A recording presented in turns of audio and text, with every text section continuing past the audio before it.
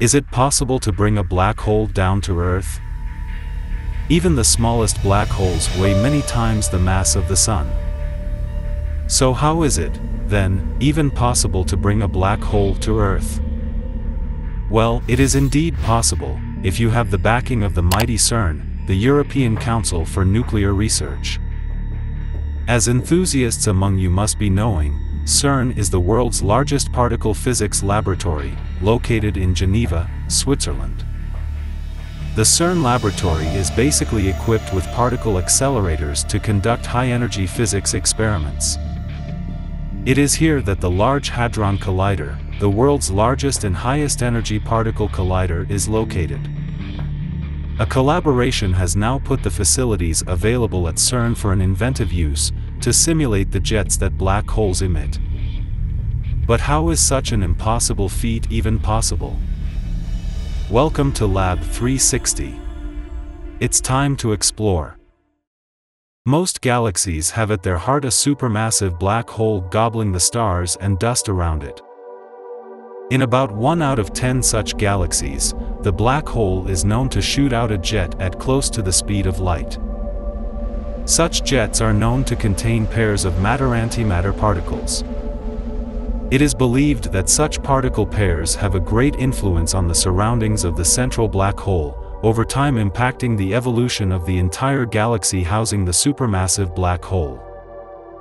But astronomers don't know how.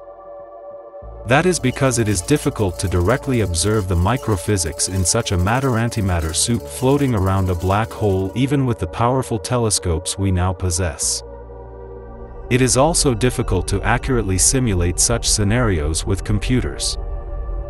So scientists found a clever workaround to study such matter up close.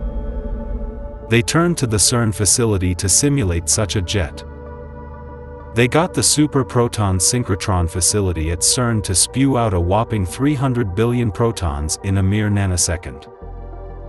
These were then fired onto a target of graphite and tantalum, in which a cascade of particle interactions is then set off, and that leads to generation of multiple matter-antimatter pairs. Sounds straight out of some science fiction novel, ain't it?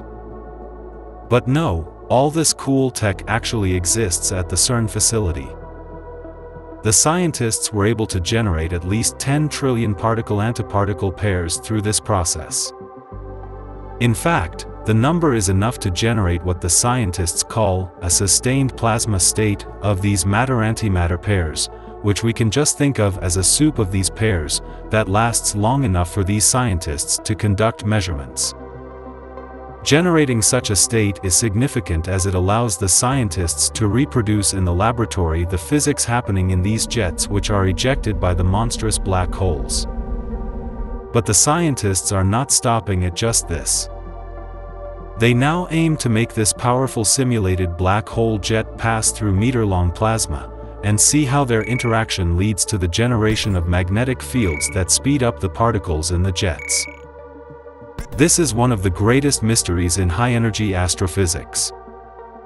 But moving away from black holes, did you know that CERN is the birthplace of the World Wide Web?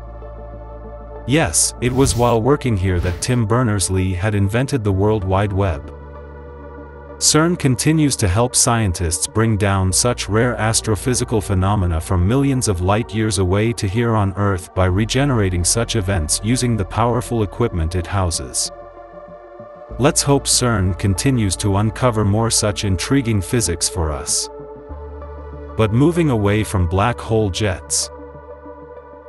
What do you think is the common thread holding the narratives of the Marvel Cinematic Universe comprising Spider-Man No Way Home, Doctor Strange in the Multiverse of Madness, and the Adult Swim animated series Rick and Morty. Indeed the anomaly of the multiverse. The protagonist travels from one universe to another through a mystifying electric field portal, transporting them to another dimension from the present. It is beguiling to witness the possibility of a portal leading to a different dimension and universe unfolding on the screen. To see our superheroes put into action their superpowers and effortlessly open a portal is fascinating. And just when we were convinced that such inventions are for cinematic experience only, scientists at CERN are working hard on translating that into reality. As absurd as it may sound, scientists from this very dimension that we are living in, have claimed to have opened a portal to a parallel universe. It brings us to the question, of whether this portal will allow us to go visit ourselves in other universes. What will the implications of such a meeting have on our current universe? The establishment of CERN 69 years ago was based on the fundamental goal of studying higher energy physics, concerned mainly with the interactions between subatomic particles. With the discovery of W and Z bosons, the first creation of antihydrogen atoms.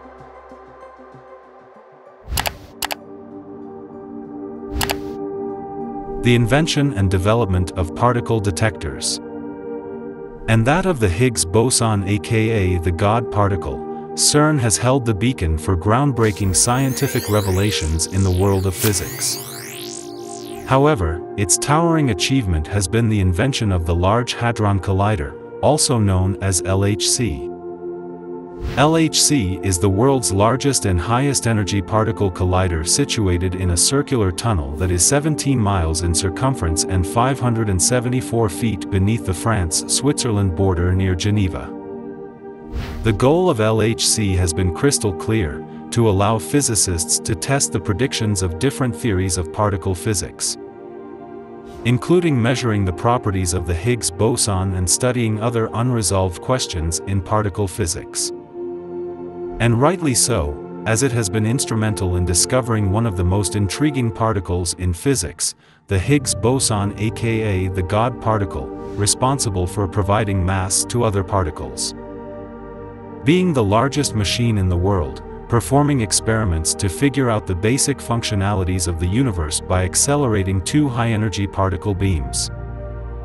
And colliding them once they reach a proper speed, also led to the fear of it causing worldwide destruction. At the time of the God particle's discovery, theoretical physicist Stephen Hawking lamented the discovery and warned that the particle could one day be responsible for the destruction of our very universe. Further, a theory surrounding Higgs boson doomsday explained that a quantum fluctuation creating a vacuum bubble will expand through space, whipping out the universe.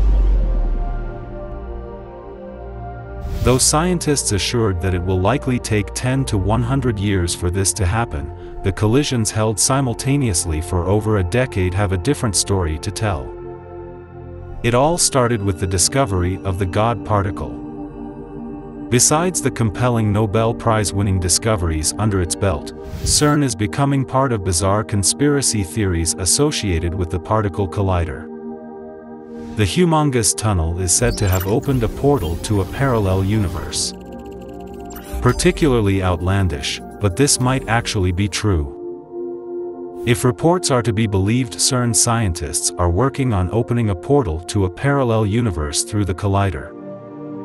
Unreal for the practical world we are living in, but is it impossible? Well, turns out, not. From 2008 to be precise, when the LHC was first made operational, it met with unforeseen delays and setbacks. However, since 2010 it has been fully functional and leading to planet-destroying theories. During one of its experiments in 2016, the LHC is believed to have caused earthquakes in Italy which were a result of plasma being fired from LHC to a lab 250 miles away in Italy. Though CERN denied the claim, theories are rife that it was the lab's attempt at opening a parallel dimension portal, a wormhole across the universe. Besides, the locals encountered intense drama of storms and lightning occurring right above the LHC lab when the experiment was underway. The intensity of the lighting and storms was linked to the LHC either opening the gate to the world of Satan or an extraterrestrial planet. Also, in 2016 a video had surfaced from the CERN's Geneva facility of human sacrifice. There was footage on the internet of a woman being stabbed by people wearing black robes. According to the video, the whole charade was performed in front of the Nataraj statue on the CERN premises. After the video came out, the official statement stated that it was just people goofing around, but one could not ignore the access badges hanging from the necks of the ritual performers. Well, if it were just ordinary people how did they have the access badges? How else do you explain that? However, the most mystifying theory attached to CERN opening a portal to another dimension is when the collider faced initial setbacks. It was widely speculated that a time traveler from the future was returning to the past, which is our present, to destroy the experiment. All to prevent a mega disaster from happening. It is believed that he destroyed the magnets which delayed the experiment and that he spoke languages no one was aware of. Doesn't it take you back to the plot of the sci-fi thriller series, Dark, when Noah travels through the portal to the future and past to save the world? Come to think of it, if there were a time traveler, wouldn't he have already traveled through time? Wouldn't he have already altered the scientific course of actions that was to be dealt with? And we wouldn't even know if our reality or present has been altered. We have dug deep into the conspiracy theories and probable explanations behind the collider and the portal to another dimension. But it is the aftermath of the experiment we need to be concerned about. Why aren't we worried about the threatening consequences it might have on our universe? According to science, if the LHC were to generate a magnificent electromagnetic field it would pull asteroids toward Earth, given the iron content of the space rock is higher. If that is higher that could mean, we'd be doomed even before the portal is open. Another side effect is the formation of numerous black holes in the cosmos. In theory, the LHC could produce miniature black holes which would still function as black holes. That will for sure lead us to collision with other galaxies or bring in content from outer space. Lastly, this particle collider experiment fundamentally has the potential to alter matter and destroy the planet.